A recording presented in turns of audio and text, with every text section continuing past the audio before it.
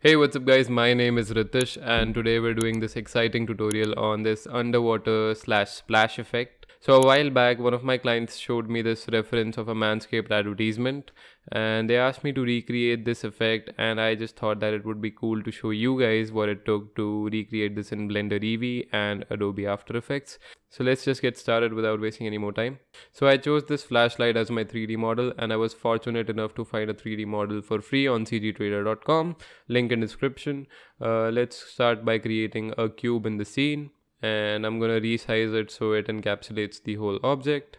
Now I'm gonna assign a material to this cube. If you just hover over principled BSDF and press V it will assign a principled volume shader on it. And nothing's going to be happening at the moment but let's go to the shading tab and rewire the nodes from volume to surface to volume to volume and you should see this dense cloud all of a sudden. But since there is no visibility of the object let's decrease first of all the emission strength to zero because we do not want any light affecting it apart from the ones that we create.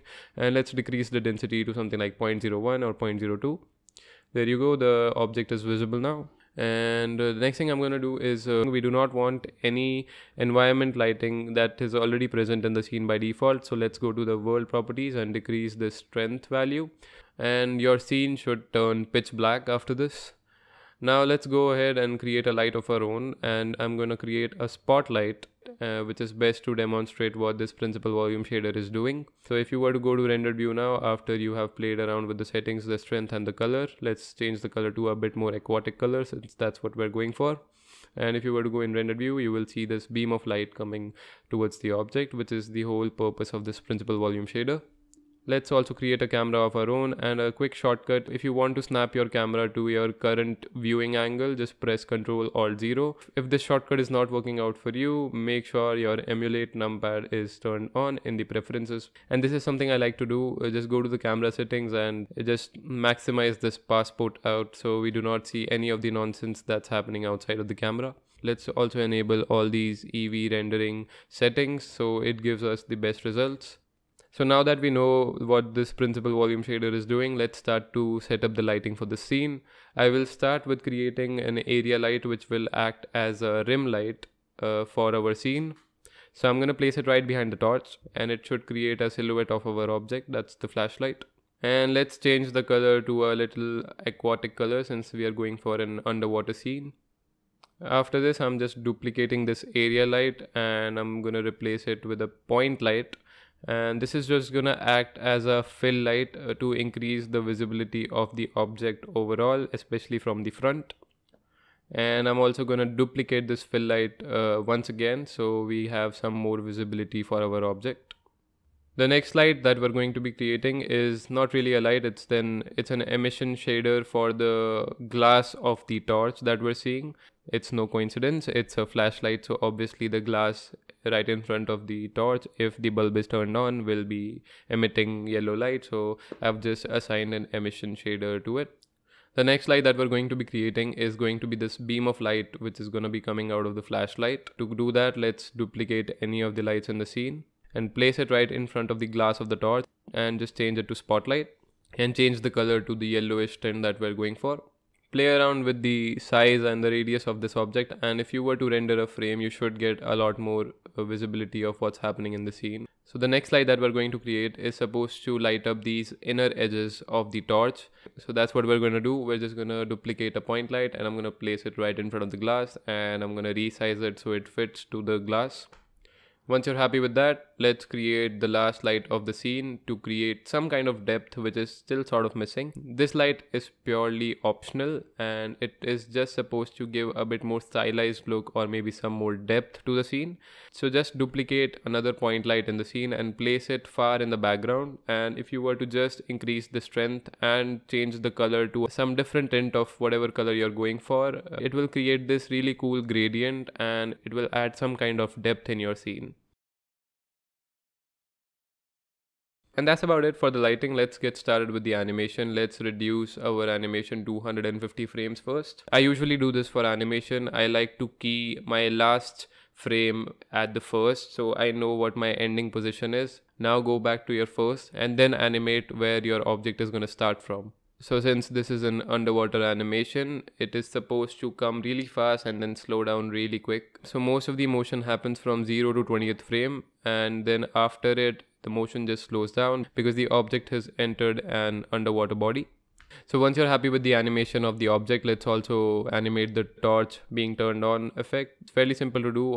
All you have to do is just animate the strength of these lights from 0 to whatever their desired value was. So the last thing that I'm going to do is create some kind of depth of field.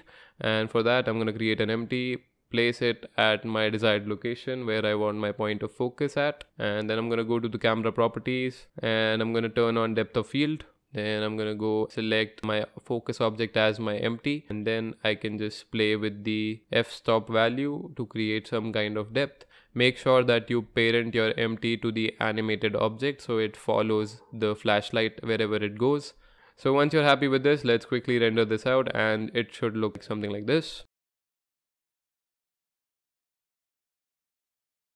Now we're going to require the submarine 3D model to create this transition where a silhouette of submarine is visible and then it sort of fades away and it turns into this torch. So I found this 3D model from cgtrader.com again, link in description. So once you have imported the 3D model in the scene, you have to resize it and position it exactly where the flashlight is to make sure that the submarine follows the flashlight's animation. Exactly just parent the submarine to your animated object. The, uh, the idea is that i'm going to disable the flashlight as my render layer and then i'm just going to create a render of the submarine in the exact position and in the exact animation as the flashlight. Once you have both the render layers let's import these in after effects. So to create this sort of morphing fading away animation uh, from submarine to flashlight. It's fairly simple. So if you were to just place these layers on top of each other all you have to do is just animate the opacity of the submarine layer and you should have this cool morphing effect happening. Uh, now to create the splash effect i'm i'm going to be using this stock footage which i found on youtube. So again link in description once you have selected the splash effect that you want to go with uh, let's change the blending mode to screen and you can see that it has very hard edges which we do not want so let's create a mask around it once you're happy with the mask, let's feather it a lot so we get rid of these hard edges. And after you're happy with the mask, it's just a matter of placing this splash effect in the right place and animating it so it follows the object throughout. Make sure that you add some kind of blur to this splash to create a little bit more realism to the scene. And you should end up with something like this. Now it's looking pretty good, but I'm gonna go ahead and add some particles which should be present in the ocean because of course an underwater body is gonna be filled with life and particles. So I found this stock footage of dust particles again on YouTube, link in description. All you have to do is just place it in the scene and change the blending mode to screen. The next thing I'm doing are just some color corrections and adding some kind of glow to the scene. Now, while creating this glow effect, I ran into this problem where uh, the whole of the whole scene was getting this uh, emission, which I obviously did not want. So what I did was I created another adjustment layer, put the glow effect on it, and I created a mask around the area which I wanted to be affected, and I just feathered it up. I also added this vignette to add some kind of point of focus for the viewer and also add a lot more dramatic effect. So the last thing that I'm going to be doing, which is completely optional, is to add this optical flare to the flashlight. Again, I found this on YouTube and link in description. Uh, so let's change the blending mode to screen again and place it to the desired location. Obviously the color of this object is not matching our flashlight. So let's add a CC toner effect to this. And all you have to do to change the color of this uh, is to change the mid tones of CC toner to whatever color you desire.